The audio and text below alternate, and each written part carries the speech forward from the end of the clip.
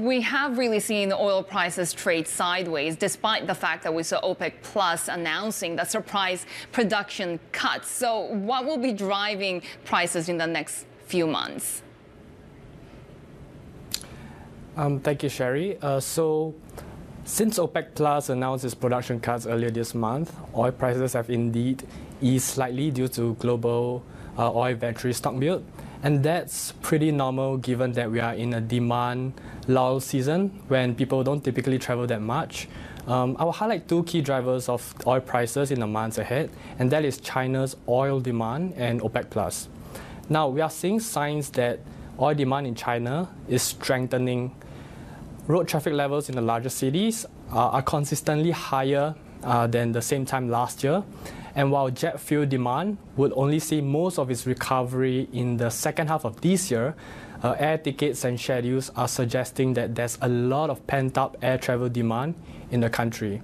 Um, Asia as a whole will make up for most, a large majority of the oil demand growth this year, uh, and so far things are looking very positive. Now, to OPEC Plus, uh, their production cuts uh, will come into effect uh, from next month. And uh, we expect, uh, unlike the previous rounds of quota cut, we expect most of it to translate into actual supply cuts. And that's because this time, their quota cuts are only delegated to member countries which are able to deliver those cuts. And perhaps as importantly, uh, OPEC Plus is showing a strong sign of unity. Uh, they were able to discreetly uh, organize themselves and agree on uh, the production cut details, which are very significant production cuts, uh, without uh, any leak to the media. And so this shows that OPEC Plus could exercise or could have a strong resolve in keeping oil prices supported in the months ahead. Uh, all in all, with OPEC Plus cuts and China's uh, strong strengthening demand, uh, we expect to see the global oil market balance flip into a supply deficit as early as May, right. if not definitely by June.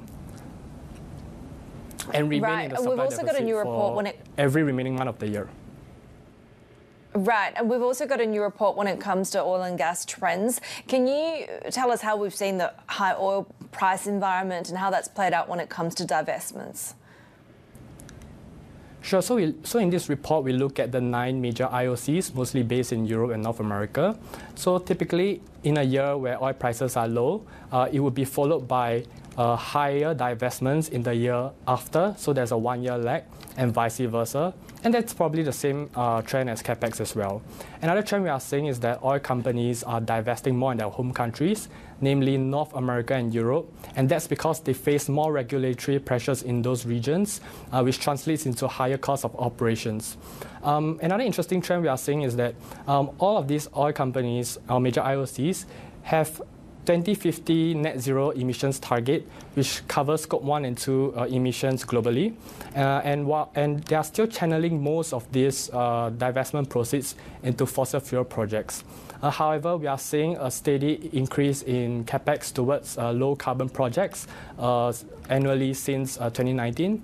and we expect the gap between divestment proceeds and energy transition investments to narrow in the coming years so that oil companies are immediately are able to meet those uh, uh, emissions targets. And an interesting uh, trend that we've, uh, right. we've came across is that oil companies, particularly the European uh, um, mm. IOCs, uh, are actually looking more into selling their equity stakes in renewable projects that have passed the development phase.